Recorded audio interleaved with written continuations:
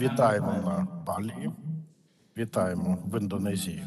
Для Індонезії велика честь гостити саміт G20. Проголошую саміт G20 відкритим.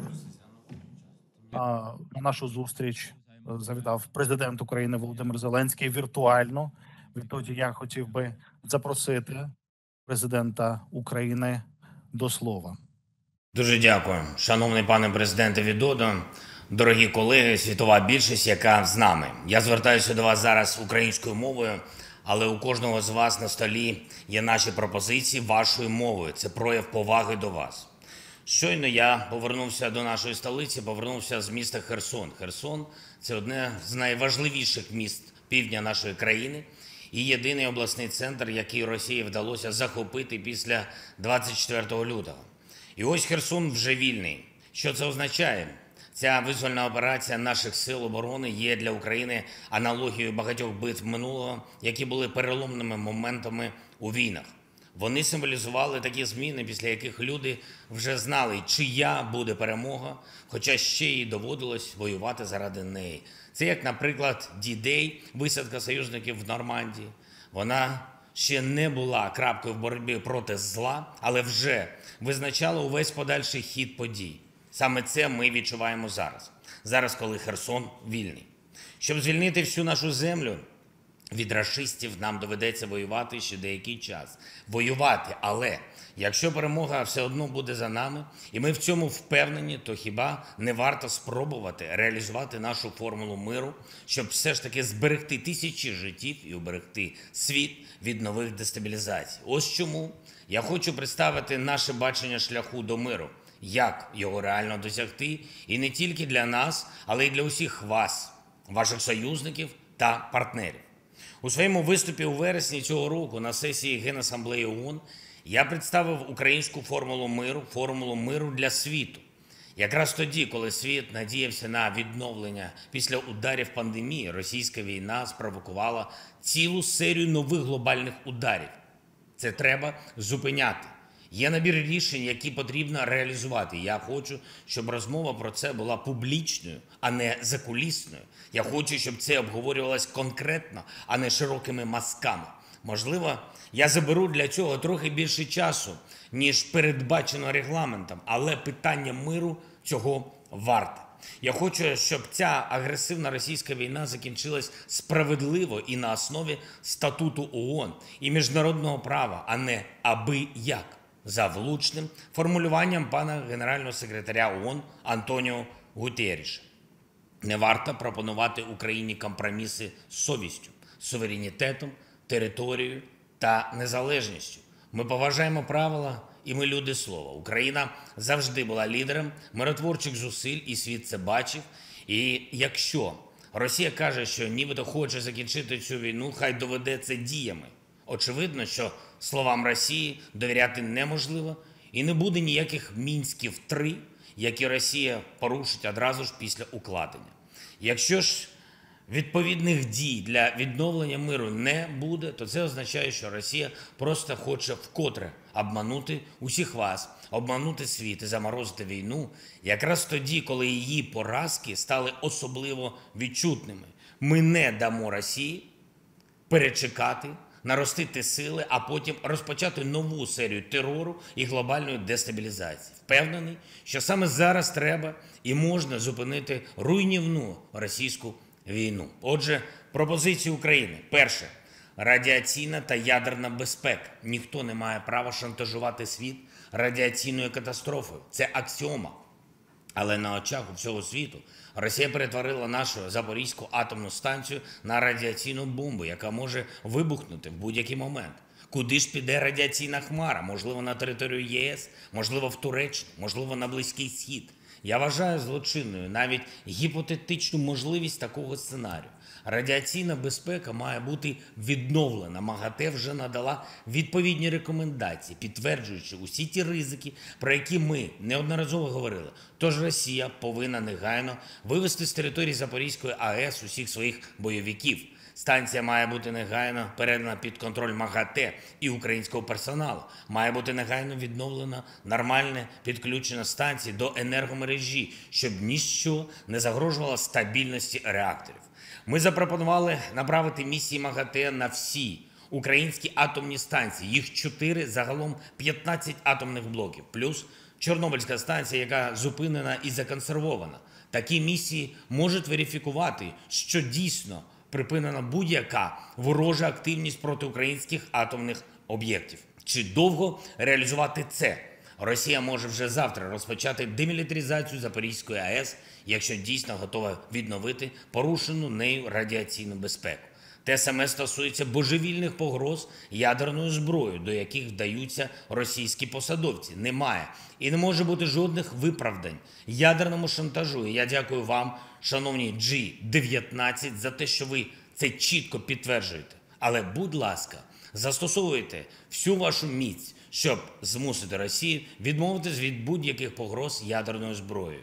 Підставою для таких зусиль може бути Будапештський меморандум і відповідні можливості держав-підписантів. Другий виклик продовольча безпека. Завдяки потужній участі ООН, Туреччини та інших партнерів ми показали, як співпраця кількох може повернути продовольчу безпеку багатьом.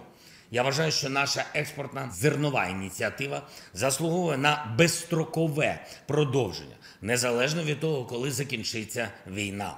Право на їжу це фундаментальне право кожної людини у світі. Україна з липня експортувала більше 10 мільйонів тонн продовольства морським шляхом. Можемо наростити експорт ще на мільйони тонн щомісячно. Для цього я пропоную розширити експортну зернову ініціативу на інші наші порти, зокрема на порти Миколаїв та Ольвія в Миколаївській області. Також закликаю усі країни, зокрема ваші країни, шановні лідери G19, приєднатись до нашої ініціативи з допомоги продовольством найбіднішим. Ця ініціатива Grain from Ukraine вже нами започаткована. І перше судно Nord Wind виходить в Ефіопію. На борту 27 тисяч тонн пшениці. Це обсяг продовольства для майже 100 тисяч людей на рік. Може бути багато таких суден з України, а отже, багато людей в бідних країнах, які врятовані від голоду. Україна може експортувати цьогоріч 45 мільйонів тонн продовольства. І хай суттєва частина буде направлена тим, хто страждає найбільше. Що конкретно ми пропонуємо? Кожна країна може долучитися з конкретним внеском і стати співтворцем перемоги над голодом і продовольчою кризою. Третє енергетична безпека. Усі ви бачите, на що направлений зараз російський терор. Це намагання перетворити холод на зброю, на зброю проти мільйонів людей, ударами російських ракет та іранських дронів, які використовують окупанти, зруйновано близько 40% нашої енергоінфраструктури. Щотижнево Росія підриває наші електростанції, трансформатори, лінії постачання електрики. Супутня мета цього терору не дати експортувати нашу електрику сусіднім країнам, що могло би значно допомогти їм стабілізувати енергетичну ситуацію і зменшити ціни для споживачів. Росія зацікавлена в енергокризі, а ми ж усі маємо бути зацікавленими в припиненні терору. Я дякую усім нашим партнерам, які вже допомогли Україні з постачанням систем ППО і ПРО. Це дозволяє нам збивати частину російських ракет та іранських дронів. Але маємо повністю захистити наше небо. Я прошу вас нарощувати відповідну допомогу. Ми вже запропонували направити місію експертів ООН на об'єкти критичної енергетичної інфраструктури України для оцінки руйнувань та потреб з відновлення а також з метою запобігання їх подальшому знищенню. Треба прискорити відправку цієї місії. Це буде конкретний внесок міжнародної спільноти у стабілізацію енергоситуації в Україні та Європі, а отже, і на глобальному енергоринку. Втім, незалежно від рішень світу, Росія може в будь-який день відмовитись від ударів по українській енергогенерації та по об'єктах, що задіяні в постачанні води і тепла людям. Хай Росія доведе такою своєю відмовою від терору, що дійсно зацікавлена у поверненні миру. Маємо зробити і фундаментальний крок для того, щоб енергоресурси більше не використовувались як зброя. Треба ввести обмеження ціни на російські енергоресурси.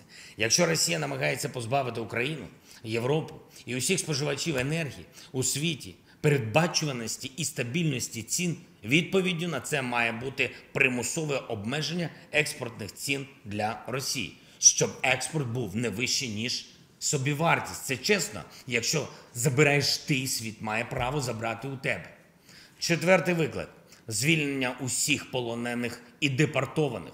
Тисячі наших людей, військових і цивільних, в російському полоні. Вони піддаються жорстоким тортурам. Це масове знущання. Окрім того, ми поіменно знаємо майже 11 тисяч дітей, які були силою депортовані в Росію. Їх розлучають з батьками, знаючи, що у них є родини. А окрім цих дітей, є десятки тисяч тих, хто був примусово вивезений, вивезений і про яких ми знаємо лише опосередковано. Серед них є й діти, чиї батьки були убиті російськими ударами, а тепер їх утримують в державі вбивці. Додайте до цього ще сотні тисяч депортованих дорослих, і ви побачите, яку гуманітарну катастрофу спричинила російська війна. Додайте ще політв'язнів, українських громадян, які утримуються в Росії та на тимчасово окупованій території, зокрема в Криму. Ми маємо звільнити усіх цих людей. Я хочу зазначити, що ми не знайшли підтримки у міжнародному комітеті Червоного Христа. Ми не бачимо, що вони повною мірою борються за доступ до таборів, де утримують українських полонених і політв'язнів, або що вони допомагають шукати депортованих українців. І таке самоусунення це самознищення Червоного Христа як організації, яку колись поважали. Ми не можемо чекати, тож маємо об'єднатися заради єдиної реалістичної моделі звільнення полонених всіх на всіх а також заради звільнення усіх дітей і дорослих, які були депортовані в Росію. Я дякую партнерам за їхні зусилля, які дозволили звільнити багатьох українців та іноземних громадян, які були захоплені в російський полон. І хай це ваше лідерство та щире серце інших лідерів, які присутні зараз, допоможуть звільнити й інших українців. П'яте виконання статуту ООН і відновлення територіальної цілісності України та світового порядку. Друга стаття статуту ООН дуже чітко все визначає, все, що порушила Росія цією війною. Тож ми маємо відновити силу міжнародного права і без будь-яких компромісів з агресором. Бо статут ООН не може діяти якось частково вибірково чи за бажанням. Росія повинна підтвердити територіальну цілісність України в рамках відповідних резолюцій Генасамблеї ООН і відповідного масиву договірно-правових документів. Це абсолютно конкретно. Шостий виклик виведення російських військ і припинення бойових дій. Є чітке розуміння, як це забезпечити. Росія має вивести всі свої війська та збройні формування з території України. Має бути відновлений контроль України над всіма ділянками нашого державного кордону з Росією. Саме це матиме наслідком реальне і повне припинення бойових дій. Кожен день зволікання з цим означає нові смерті українців, нові загрози для світу і шалене зростання збитків через продовження російської агресії, збитків для всіх у світі. Сьоме справедливість це те, що провокує чи не найбільші емоції всюди. Коли ми звільняємо нашу землю, ми бачимо одне: Росія залишає по собі катівні та масові поховання убитих людей. Так було в Бучі і інших містах півночі країни. Після окупації так було в Харківській області. Те саме ми бачимо зараз і на Херсонщині. Станом на сьогодні ми маємо повну інформацію щодо 430 дітей, убитих російськими ударами. Тільки дітей, тільки тих, про кого ми точно все знаємо. А скільки масових поховань на тій території, яка ще досі залишається під контролем Росії? Що ми побачимо в Маріуполі? Ось чому світ має визнати спеціальний трибунал щодо злочину агресії Росії проти України і створення міжнародного механізму для відшкодування усіх збитків, завданих цією війною, відшкодування за рахунок російських активів. Бо саме агресор повинен зробити все, щоб відновити порушену ним справедливість. Вже є запропонована нам резолюція Генасамблеї ООН щодо міжнародного механізму компенсації за збитки, спричинені російською війною. Вона проголосована. Ми просимо її застосувати. Готуємо і другу резолюцію щодо спецтрибуналу. Прошу вас приєднуватись і підтримати її, бо немає такого народу на землі, який не цінує справедливість. Восьмий виклик це екоцид. Потреба негайного захисту природи. Мільйони гектарів лісу спалені обстрілами. Майже 200 тисяч гектарів нашої землі забруднені мінами і снарядами, які не розірвалися. Десятки вугільних шахт затоплені, в тому числі і шахта, в якій в 1979 році був здійснений підземний ядерний вибух. Це шахта Юнком в Донецькій області. Вона на окупованій Росією території, затоплена вже кілька років саме через окупантів. Лише деокупація нашої території може дати умови, щоб зняти цю загрозу. Неможливо точно порахувати обсяг такого забруднення атмосфери від спалених нафтобаз і пожеж, а ще підірвані споруди, спалені хімічні підприємства, безліч захоронень убитих тварин. Просто уявіть це. Внаслідок російської агресії загинуло 6 мільйонів свійських тварин. 6 мільйонів це офіційні дані. Знищено щонайменше 50 тисяч дельфінів у Чорному морі. Тисячі гектарів ґрунту забруднено шкідливими е, речовинами. Більшість це родючий ґрунт. Був родючий ґрунт. Минулого тижня на кліматичному саміті в Єгипті я запропонував створити платформу для оцінки збитків навколишньому середовищу від війни. Ми маємо це реалізувати. Маємо знайти і спільні відповіді на усі екологічні загрози, створені війною. Без цього не буде повернення до нормального стабільного життя і відлуння війни ще довго зберігатиметься у вибухах мін, які забиратимуть життя дітей дорослих в забрудненні води, ґрунті і атмосфері. Я дякую всім країнам, які вже допомагають нам із розмінуванням. Потрібне термінове нарощування кількості такої техніки. Потрібні також кошти і технології для відновлення очисних споруд. Це не просто українська проблема, це виклад для всього світу. Наступне дев'яте недопущення ескалації. Ризик, який є і буде постійно, поки наша безпека не буде гарантована належним чином. Україна не є членом будь-якого альянсу, і ця російська війна змогла розпочатися якраз тому, що Україна залишалась в сірій зоні між євроатлантичним світом і російським імперіалізмом. Зараз у нас теж поки немає жодних гарантій безпеки. Тож е, як не допустити повторення такої агресії Росії? Проти нас. Ми потребуємо дієвих гарантій безпеки, тому підготували проект договору Київ Security Compact і вже його запропонували е, партнерам. Тож маємо міжнародну е, конференцію провести для фіксації ключових елементів повоєнної безпекової архітектури в євроатлантичному просторі, включно з гарантіями для України. Головним результатом конференції має стати підписання Київ Security компакт. Ми можемо зробити це в будь-який час і навіть вже цього року. І ми повинні це зробити. І десятий пункт, який дуже важливий фіксація закінчення війни. Коли всі антивоєнні кроки будуть реалізовані, коли безпека і справедливість почнуть відновлюватись, має бути підписаний документ сторонами про фіксацію закінчення війни. Дякую вам за запрошення. Слава Україні! Selanjutnya Дякую, ваше високоповажносте.